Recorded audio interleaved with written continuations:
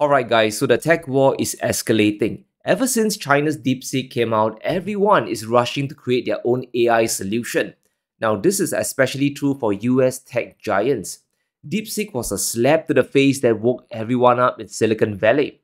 China is not collapsing and their technology is already starting to surpass the West. And because of this shock, AI chipmaker Nvidia experienced their biggest single day decline of $560 billion. The signal was clear you don't need the latest cutting edge chips to make AI solutions that everyone can use.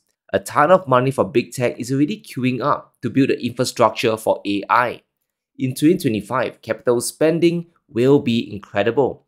$234 billion from companies like Google, Amazon, Oracle, and Microsoft. In 2026, this amount will balloon to nearly a quarter trillion dollars. This is how much US companies are betting on the future of AI. But DeepSeek has released the genie from the bottle. Now, every company with some money wants to build the latest AI model. After all, it took China only $6 million to build theirs. And now we have Elon Musk throwing his head into the ring with his own AI solution. The world's richest man has developed Grok 3, now, of course, he's going to say that it's the best AI in the world, that it's better than OpenAI or China's DeepSeek. Now, this is a very bold claim that we have to investigate. According to Musk, Grok 3 uses 10 times more computing power than the previous version. Now, some users are saying that it consumes 263 times the computing power of DeepSeek. So we should expect a phenomenal experience from this, right? The stakes for X are extremely high because Elon, he wants to corner the entire AI market in North America. He wants to raise $10 billion from big investors and venture capital firms. So everything depends on the performance of Grok 3 and how useful it is to users. Now X says that Grok 3 smashes every competitor out there. When it comes to math, science and coding, it blows the competition out of the water it is at least 10 to 20% better than China's DeepSeek and Google's Gemini. But therein lies the problem. You are consuming 200 times more computing power for just an improvement of 20%? Is having so much compute power necessary for the majority of users and companies? And that is a big question and it all boils down to pricing. Now, one of DeepSeek's big advantages is that it's generally free for the world to use. However, to access Grok 3, you'll need to pay almost 40 to $50 a month to unlock its full potential. Now, maybe it's worth it. Maybe Grok 3 is the DeepSeek killer and China is finished. Or maybe not. AI users have made their comparisons and so did I. And the results are very entertaining to say the least. Now, Nitika Sharma did an investigation into Grok 3 versus DeepSeek she conducted a coding test asking Grok 3 to basically generate a random maze to make it visible to the average person. Now, according to Musk, Grok 3 beats DeepSeek hands down when it comes to coding, but does it? The results shows us a very different picture, literally. Now, the results are very clear. The maze drawn by Grok 3 doesn't even look like one in the first place. It's highly pixelated and just looks like a total mess. DeepSeek's maze looks more proper. It adheres to proper maze generation principles and it's clear to everyone that this looks more or less like what we all expect. So obviously Grok 3 still has some coding issues. Now this isn't good especially if you're consuming more power compared to DeepSeek. But let's leave coding aside, how about the average user like you and me, who uses AI to get direct answers? Now to make these videos I have to do a lot of research, so how does Grok 3 versus DeepSeek compare for me? Firstly, I asked both AI models the exact same question. What are the latest Trump tariffs imposed on countries? Give me a list of the tariffs and list out the source. Now, you would think that this is a very straightforward question, but the answers I get from Grok 3 and DeepSeek are vastly different, which is a very big head scratcher. Grok gave me a history of Trump's tariffs since 2017.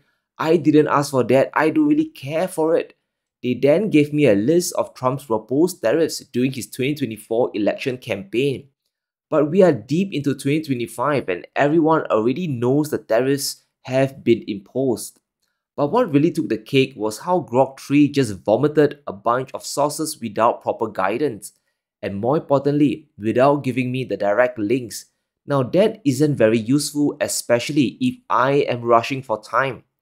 But when it came to DeepSeek, I was pleasantly surprised. They gave me exactly what I wanted and expected. Remember, AI is supposed to enhance your productivity, it's not supposed to frustrate you. Now, firstly, they arranged the information nicely. It tells me exactly the tariff rate of Pacific countries like Mexico and Canada. And it tells me the products affected and the reason why Trump punished those countries illegal immigration for Mexico and national security concerns for China. In addition, they help with listing the sources and references in a user friendly way. The results link directly to sources like CNN, Bloomberg, or Reuters. Most importantly, there are direct links available, so I don't need to go on some wild goose chase. So just for my simple usage, DeepSeek seems to be more user-friendly and helpful than Grok 3, and it's free. What's the point of paying $50 now? So guys, let me know which is better for you. Your mileage may vary. But here's the truth about AI. Sooner or later, a better version will be developed. The US would eventually create a better version of DeepSeek. China would then create yet another upgraded version that becomes the best for a while. But this AI madness is not going to stop. We are in a race to the bottom. The moment China enters the fray, this becomes a war of financial attrition, which isn't where you want to be. Firstly, Chinese AI models will outprice you. Very few companies can compete. Compared to OpenAI that charges 10 to $60 per million output tokens, DeepSeek charges only around $2 for their more advanced model. And that's a savings of at least 80% for the end user. Sure, some AI solutions could be faster and more efficient than DeepSeek, but costs do matter, especially if you're a smaller company or from a country outside the Western world. Competing with China means a margin war, and to win, you best be prepared to dig in deep. Either you have a ton of money to spend, or you have to be ultra efficient in how you spend your cash. Just listen to Keyu Jin, a leading Chinese economist that tells us how China's model of innovation really works. It's simply the Hunger Games on steroids in the US, parties change, but policies don't. Uh, in China, it's the opposite. They are building mini Silicon Valleys all around China. And it's only useful if you help the good ones, the productive ones. And so they do that, not, they don't just help one or two, they help thousands. So if you think about corruption and the lack of democratic, democratic mechanisms, there are much more nuanced mechanisms of competition and checks and balances in China that we may not see from the outside. That's what happened to the EVs. Within 10 years, China became the largest producer and consumers of EVs, and it does help that the government can roll out 4 million EV charging stations around the country as opposed to 160,000 in the US. It critically does make that kind of difference. China's system as a whole is better for innovation if the direction is set correctly. There isn't any political instability, especially when it comes to policies, once the government has decided. Now, we have seen this in EVs. We are seeing this in both AI solutions and physical semiconductors as well today. And mark my words, China is going to turn AI into yet another type of commodity. It will be the oil and gas for companies around the world to unlock greater efficiency. So if you want to be more productive, you'll use some version of AI. Now, the chief executive of Salesforce just revealed the truth. AI spending is a race to the bottom. Eventually, everyone will be working with similar powerful models, whether it's made in China or the United States. A better approach would be to use AI to empower your business. How can you utilize artificial intelligence to help your customers better? That will be the key challenge going forward. The West has to find a way to harness the power of AI to make their products better. You can't have AI alone. You need a business to unlock value, or you'll just be peddling a commodity. You know, this AI race who's better, whose AI is better? The answer yesterday is going to be different from the answer tomorrow. You have to start to ask yourself, what is the purpose of, what is the goal of developing AI? Is this to have the smartest child so that they can win every single Nobel Prize? Or is it something different? Like, there's a lot of problems in the world that need to be solved. Uh, there's a lot of uh, issues that we need to use AI to apply AI so that it can be useful and productive and make an economic impact. So the US has to run like hell to compete with China in applications because the clock is ticking. Now some companies like Apple, they get it that it's smarter not to build an AI model from scratch, especially if you're lagging behind. It's going to become a common commodity like oil and gas. It's better to integrate into your own solutions and focus on your customers. And that's why their share price flew up. Investors are happy they aren't wasting billions in a pointless AI arms race. But not all US companies are like Apple. There will still be a ton of giants willing to pour money to create the next Skynet for world domination. And that's going to put tremendous pressure on their balance sheet. Sooner or later, investors they will come knocking and do a Jerry Maguire on the companies. Show me the money on out of here. Now, this chart shows us how overvalued US tech companies are, and it's mostly thanks to AI capital spending.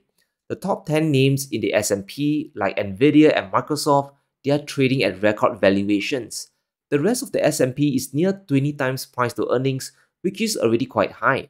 But look at the valuations of the Magnificent Seven and Friends. It is out of this world. It's almost 30 and this is unsustainable. In 1999, the dot-com bubble popped when PE ratios hit 40. If US tech companies continue to go crazy with their AI spending, investors could get nervous and they might just pull the rug. Competing to build the latest AI model will be hard, especially when you are fighting with China. They have a lower cost of labor, they have cheaper inputs, and they have an army of engineering and computer science graduates. Even as we speak, China just released yet another AI model called Kimi AI. Apparently, it wins everything. It beats DeepSeek, OpenAI, and Alibaba, and once again, it's free for everyone to access. And that's why AI is a race to the bottom. The moment China entered the arena, it's game over. So US companies will need to find a way out of this trap. By making DeepSeek open source, China has unlocked the floodgates to cheaper and faster innovation. And hopefully Silicon Valley figures this one out. It's all about using AI for your customers now. But let me know what you think. Can the US really beat China in AI development? And is investing hundreds of billions here a good idea? Let me know in the comments below. Stay safe be sure to smash the like button and subscribe as we navigate through these crazy times.